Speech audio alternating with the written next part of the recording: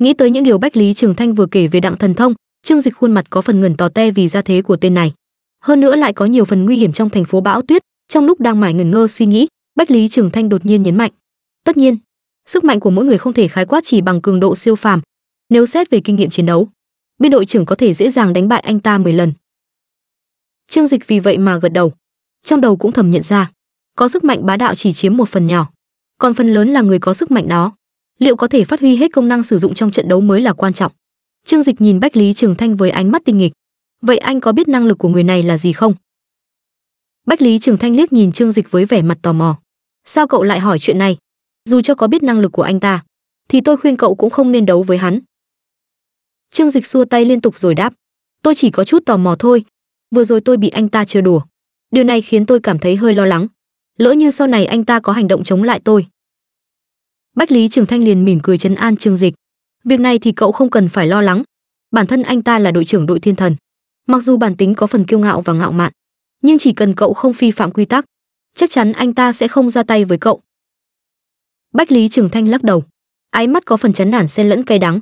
Còn về phần năng lực của anh ta, tôi thật sự không rõ, bởi vì trong đại khu Giang Nam bây giờ, người khiến cho anh ta phải xuất thủ, thực sự lác đác không có mấy người. Quả thực bây giờ Bách Lý Trường Thanh trở thành tiểu đội trưởng đội áo choàng đen, nhưng cũng không vì vậy mà biểu thị sức mạnh cũng như thực lực của mình có thể so sánh với năm người đội trưởng khác. Cấp bậc của Bách Lý trên lệch khá xa so với biên quân võ và đặng thần thông. Khóe miệng Trương Dịch khẽ nhếch lên nhưng không để Bách Lý Trường Thanh nhận ra nụ cười bí hiểm. Bách Lý Trường Thanh không biết gì về năng lực của đặng thần thông, nhưng Trương Dịch lại phát giác được mấy phần, loại năng lực xuất hiện nhiều thân ảnh của đặng thần thông, không phải phân thân, chỉ là huyễn tượng. Từ lúc vừa mới bắt đầu thi triển, hình ảnh đặng thần thông xuất hiện trước mặt Trương Dịch, và đang ngồi trên ghế chính là hư giả. Trương Dịch là dị nhân hệ không gian, nên đối với những biến động của không gian sẽ rất nhạy cảm, cho nên Trương Dịch mới hiểu được. Đặng thần thông luôn luôn ẩn thân trong gian phòng, về sau mới đột ngột xuất hiện ở phía sau lưng Trương Dịch, giả vờ hóa thân giống như có ba đầu sáu tay. Sở dĩ Trương Dịch để cho Đặng thần thông chạm vào vai, chỉ để che giấu đi khả năng của mình, khả năng này quả thực rất mạnh mẽ. Nếu biết tận dụng, siêu năng lực này có thể kết liễu đối thủ một cách âm thầm. Nhưng nếu đối đầu với Trương Dịch, kết quả rất khó nói trước. Ít nhất thì khả năng tàng hình của Đặng thần thông cũng không hiệu quả với Trương Dịch, nhưng nói sao thì nói.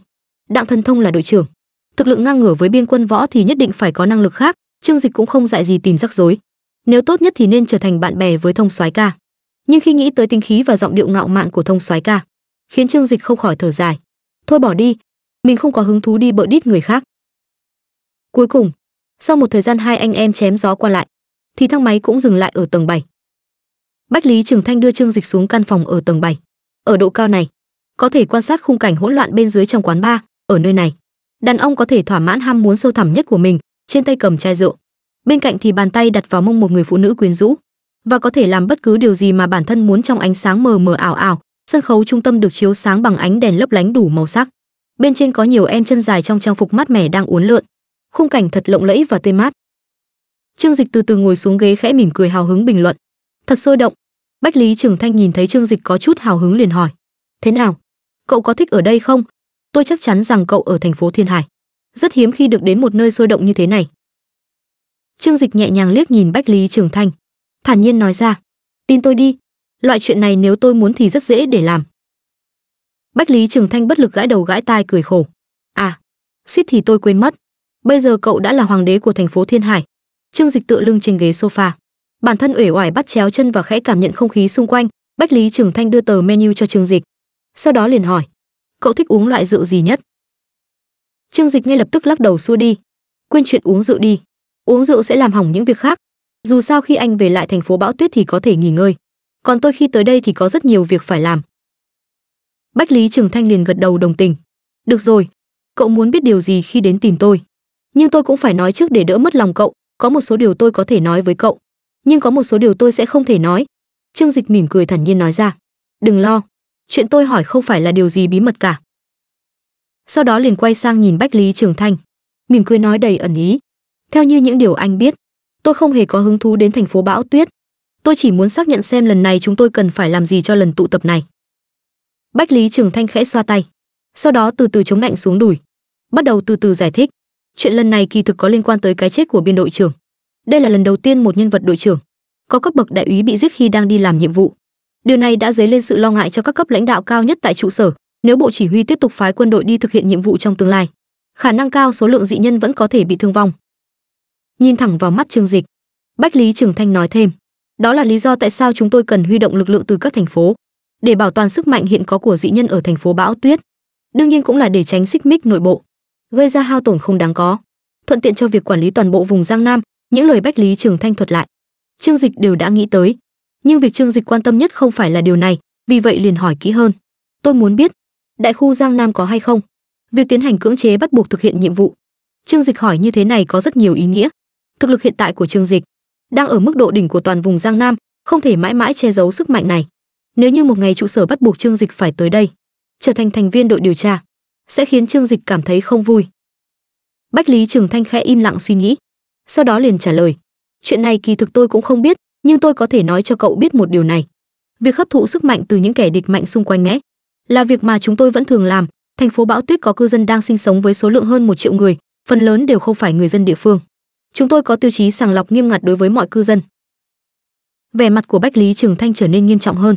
Nếu như mức độ đóng góp của họ không đủ ngay lập tức sẽ bị đuổi khỏi nơi này. Và nếu như chúng tôi tìm được những người rất có tiềm năng với năng lực khá giỏi trở lên ở bên ngoài ngay lập tức những người này sẽ được chúng tôi tuyển dụng.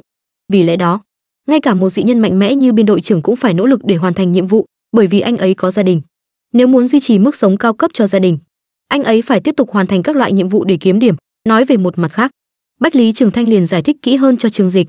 Ở đây, tiền bạc đều vô dụng. Ngay cả những loại trang sức như vàng bạc và kim loại đều là phế liệu.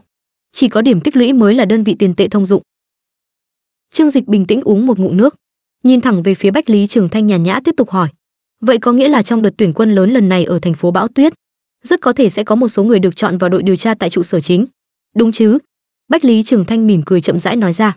Thật khó để nói. Ít nhất là đối với một người dị nhân có năng lực tốt như cậu. Tôi e rằng cao tầng sẽ cố gắng hết sức để giữ cậu lại ở đây. Trương dịch nhìn thẳng bách lý trường thanh, khẽ châm chọc. Nhưng nếu tôi tới đây, chuyện của anh thật sự sẽ rất khó để giải thích. Bởi vì trong lần báo cáo nhiệm vụ giết nguyên không dạ ở thành phố thiên hải trương dịch bị gạt ra khỏi báo cáo, nếu trương dịch tỏ rõ thực lực trước mặt cao tầng đại khu giang nam.